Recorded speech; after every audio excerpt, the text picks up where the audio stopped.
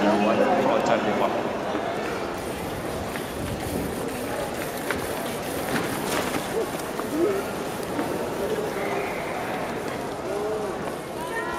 拜。拜，等我两